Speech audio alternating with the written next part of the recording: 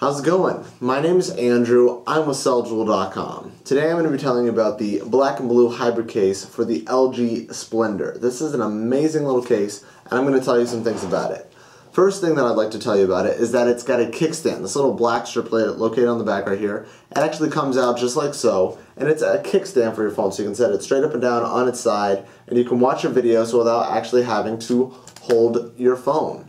It's got openings for all the other ports and functions like your headphone jack, your camera right here, um, your speakers, your charging port, and it also gives you access to the button controls on the sides like the volume and things like that.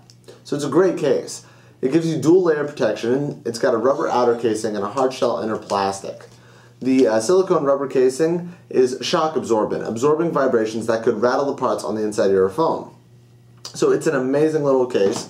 And then this is the hard shell plastic casing. It absorbs the initial blow when you drop your phone in and is a structural protection. When you want to separate this piece, it's kind of like a snap-on case. Just separate it like so, and you can put your phone on there. And all you have to do is put it back together.